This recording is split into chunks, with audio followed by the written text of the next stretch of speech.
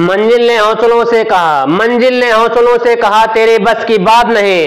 मंजिल ने हौसलों की आँखों में आँखें डालकर बोला, चल झुट्टी तेरी इतनी औकात नहीं। हेलो, हाय दोस्त।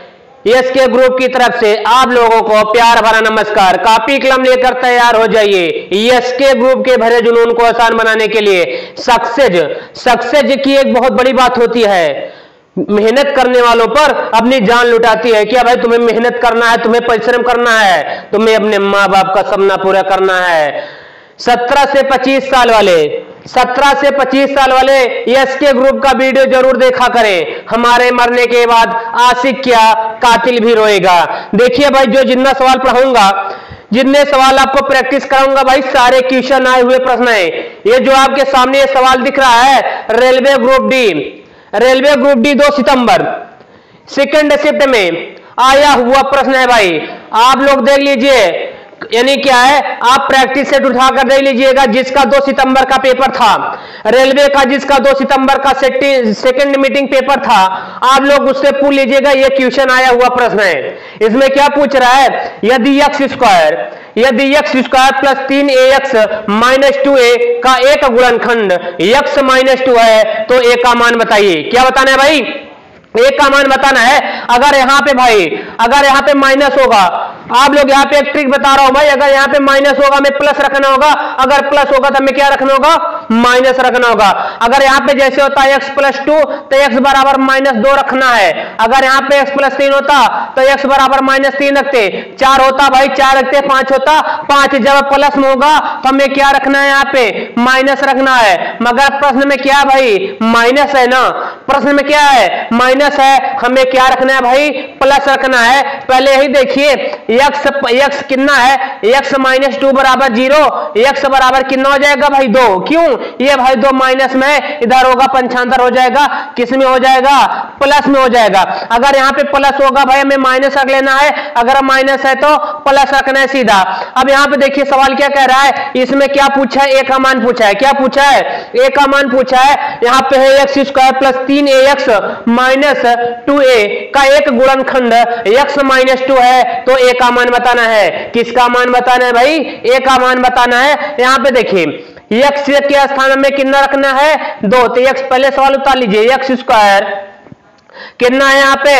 एक्स स्क्वायर प्लस तीन a x minus two a भाई, बराबर कुछ है तो आपको ज़ीरो लिखना है। अगर कुछ नहीं है तो क्या लिखना है भाई? बराबर में ज़ीरो होता है। अब यहाँ पे एक्स एक्स के स्थान में कितना रखेंगे? दो। एक्स के स्थान पे दो रखा, ऊपर घात कितना है? दो। फिर प्लस यहाँ पे तीन उतारा, यहाँ पे ए है ते। एक्स के स्थान में कितना? दो। माइनस दो है तो दो उतारिए। अब यहाँ पे ए है ते। बराबर कितना भाई? ज़ीरो यहाँ पे दो को ऊपर दो है तो हमने भाई इसे दो बार गुड़ा कर लिया है। दो दुनैया चार अगर यहाँ पे तीन होता, हम तीन बार लिखते, चार होता तो चार बार लिखते। अब यहाँ पे देखिए, एक ऊपर दो है, दो बार ऐसे गुड़ा करेंगे, दो दुनैया कितना हो जाएगा भाई? चार हो जाएगा प्लस तीन दुनैया कितना हो गया? छ फिर माइनस कितना है? टू ए बराबर कितना है भाई? ज़ीरो अब इसमें क्या करना है? चर चर जोड़ना है और अचर अचर जोड़ घटाना लेना है। अगर भाई जोड़ है तो जोड़ना है, अगर घटाना है, अगर घट रहा है भाई, हमें क्या करना है? घटा लेना है।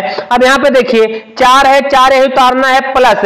छह ए में जब दो ए गया कितना बच्चा भाई? चार ए। बराबर कितना है? ज़ीरो। कितना भाई? ज़ीरो हमने यहाँ पे देखिए क्या उतारा? चार ए उतारा यहीं पे बराबर चार प्लस में है इधर आएगा क्या हो जाएगा? माइनस चार एकन्नम चार ए बराबर कितना आ गया भाई? माइनस एक यही तो पूछा है। एक, एक का मान बताइए ए का मान कितना आ गया भाई? एक आ गया। मैं बगल हो जा रहा हूँ आप लोग सवाल को उतार लीजिए या साठ स्क्रीन कर लीजिए भाई। सारे क्वेश्चन इंपॉर्टेंट है महत्वपूर्ण क्वेश्चन है। भाई, इतना प्यार। यहाँ पे देखिए क्या कर रहा है, ज़ीरो दशमलव तीन के ऊपर बार है, फिर प्लस ज़ीरो दशमलव छह के ऊपर बार है, फिर प्लस ज़ीरो दशमलव सात के ऊपर बार है, फिर प्लस आठ है, यानी ज़ीरो दशमलव आठ के ऊपर बार है। भाई, इतना प्यार से समझाऊँगा, इतना इतना प्यार से समझाऊँगा कि इसके असर से तुम्हें मोहब्बत हो जाएगी। हमारे तुम्हारे बीच दूरी नहीं होना चाहिए भाई, हमारे और तुम्हारे बीच क्या मोहब्बत होना चाहिए? मैं इतना प्यार से समझाऊँगा कि इसके असर से आपसे मोहब्बत हो जाएगी। हंस के कहूँ या मुस्कुरा के कहूँ? हंस के कहूँ या मुस्कुरा के कहूँ, भाई, ऐसा ऐसा ट्रिक बताऊँगा, तुम भी याद करोगे। यहाँ पे देखिए, अब आपको लगाने की ज़रूरत नहीं है। जैसे आप लोगों ने नाइन्थ में पढ़ा है, यही है ना, दशमलव छह ऊपर बार है यक्स बराबर दशमलव छह छह समीकरण एक। क्यों छह छह लिखा भाई? इसके ऊपर बार, इसलिए बार बार हमने लिखा है। हमें अब ऐसे लगाने की ज़रूरत नहीं भाई, आपको ट्रिक बताऊँगा। आपको ट्रिक बताऊँगा कापी कलम उठाने की ज़रूरत नहीं होगी। ऐसा ट्रिक बताऊँगा भाई, तुम भी याद करोगे कि एस के सर वाले एस के सर क्या पढ़ाते हैं, क्या जादुई ट्रिक पढ़ाते हैं। भाई वीडियो देखने से पहले आप लोग लाइक सब्सक्राइब करना ना भूलें।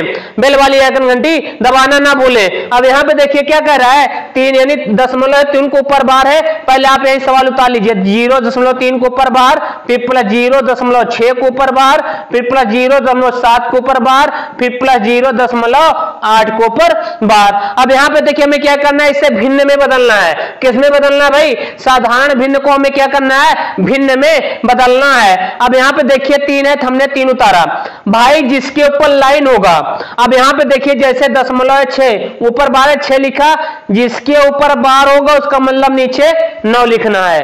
अगर यहाँ पे देखा जैसे चार, तीन, दोनों के ऊपर बार है तो तिरालीस पूरा लिखते, दो संख्या के ऊपर बार है तो डबल नौ लिखते। अगर यहीं पे भाई, मान लीजिए हमारा, अब जैसे यहाँ पे सवाल चेंज हो गया, यहाँ पे होता है? जैसे दशमलव चार, सात। देखिए, अब एक ही ऊपर बार है ना? तो हम क्या करते हैं? पहले सैतालीस पूरा उतारना है। अब जिसके ऊपर बार नहीं होगा भाई, वही हमें घटाना होगा। नीचे, जिसके ऊपर बार होगा, उसका मतलब ना हो, और जिसके ऊपर कुछ नहीं होगा, उसका मान ज़ीरो लिखना होगा। पहले आपको पूरा अंक उतारना है। क्या भाई? पहले आपको पूरा अंक उतारना है, सैतालीस पहले पूरा उतारना है। अब माइनस लगाना है। जिसके ऊपर बार नहीं होगा, यानी जिसके ऊपर लाइन नहीं होगा, वो हमें घटाना होगा। अब फिर लाइन पाना है। जिसके ऊपर बार होगा, उसका मतलब नीचे नौ लिखना है। जिसके ऊपर बार नहीं होगा, उसका मतलब उसका मान कितना लिखना है? ज़ीरो अब यहाँ पे देखिए अंक अकेले तीन, इसका मान तीन उतारा, नीचे कितना? नौ। फिर यहाँ पे छह उतारा, नीचे नौ। फिर सात उतारा, नीचे नौ। फिर प्लस आठ उतारा, नीचे कितना भाई? नौ। आप लोगों ने कक्षा पाँच छह में क्लास आठ में पढ़ चुका है, अगर हर बराबर होता है तो अंश हम क्या करते हैं? जोड़ लेते हैं। अगर बीच में घटाना होता है, अगर हर बराबर होता है तो हम क्या करते हैं? घटा लेते हैं। मगर यहाँ पे देखिए, अंश अंश, यानी हर मिल रहा है ना? तो अंश क्या करेंगे भाई? जोड़ लेंगे। देखिए, सबके साथ क्या लगा है? प्लस का चिन्ह लगा है। पहले में क्या उतारना है भाई? नीचे नौ उतारना है। अब क्या करना है? आप जोड़ लीजिए। छह, तीन, यानी तीन में छह मिला दिया नौ नौ में सात मिला दिया सोलह। नौ, सात, सोलह सोलह, आठ कितना आ गया भाई? चौबीस। सोलह आठ कितना आ गया? चौबीस। भाग देंगे कितनी बार जाएगा भाई? अगर इसे सही बटे में लिखना है, नौ दुनैया अठारह। यहाँ पे नौ दुनैया अठारह, दो सही।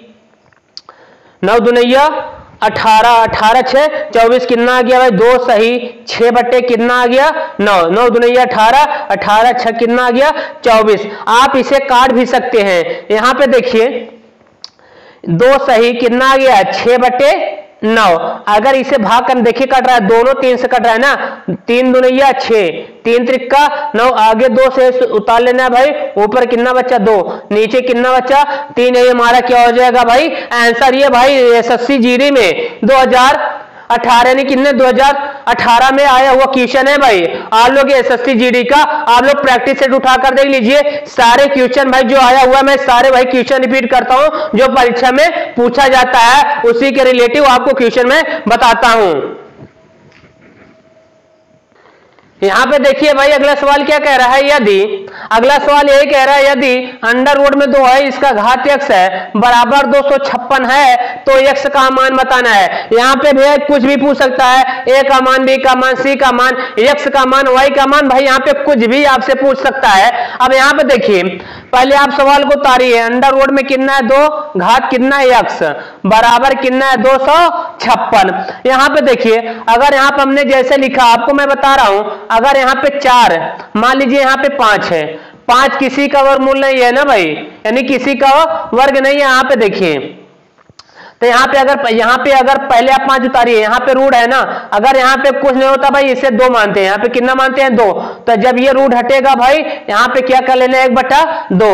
अगर यहाँ पे भाई तीन हो जाएगा, तब एक बट्टा तीन कर लेना है। अगर चार होगा तो एक बट्टा चार कर लेना है। अगर मान लीजिए अब यहाँ पे जैसे दो बट्टा हमने छह लिखा है, अब पाँच पहले उतारना जब ये रूट हटाएँगे, ये घात में चला जाएगा, दो बटे कितना हो जाएगा भाई? छह हो जाएगा, जितना होगा हमें उतना क्या करना है? कर लेना है। अब यहाँ पे देखिए, पहले हम दो उतारेंगे, ऊपर कितना है भाई?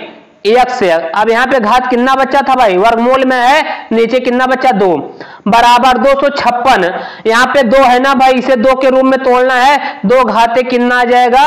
आठ आ जाएगा। जब ऐसे भाई तोड़ेंगे, देख लीजिए दो सौ छप्पन को दो से तोड़िए दो, एक अन्नम दो दो दुनैया चार बचा एक दो अठ सोलह, दो छंग बारह, दो चौक आठ। दो तिहाई छह दो दुनैया चार। दो एक अन्नम दो दो छंग बारह। दो अठ, सोलह। दो चौक आठ। दो दुनैया चार देख लिए। दो दो चार, दो छह दो आठ। देखिए, दो आठ बारह है भाई, इसलिए दो के ऊपर आठ लगा दिया। अब यहाँ पे आधार आधार मिल रहा है, दो से कटा। अब यहाँ पे एक्स बटा दो बराबर कितना बचा भाई? आठ। नीचे उतार लीजिए एक्स का नाम आठ दुनैया, सोलह। यही तो पूछा है भाई, यक्ष का मान बताइए। यक्ष का मान कितना आ गया? सोलह आ गया। भाई, मैं बगल हो जा रहा हूँ, आप लोग उतार लीजिए, साठ स्कैन कर लीजिए। सवाल नंबर अगला क्या कह रहा है भाई? सवाल नंबर क्या कह रहा है? एक हज़ार आठ को। एक हज़ार आठ को किस एक हज़ार आठ को किस एक अंक वाली संख्या से विभाजित किया जाए कि भागफल? पूर्ण वर्ग बन जाए। अब इसमें क्या हमारे? कुछ छात्र इसमें क्या करते हैं? सोचते हैं क्या करें? भाग विधि करें कि गुणनखंड विधि करें? भैया लोग यहाँ पे दिमाग में बैठा लीजिए। जब जोड़ने या घटाने की बात कहे, क्या जोड़ा जाए, क्या घटाया जाए, तब हम भाग विधि से निकालते हैं। अब यार यही पूछे कि इससे गुणा करें या किससे भाग करें, तब हमें गुणनखंड विधि से निकालना होता है। फिर से एक बार आप लोग सुन लीजिए। जब यहाँ पे एग्जामिनर सवाल को पूछे, क्या जोड़ा जाए? क्या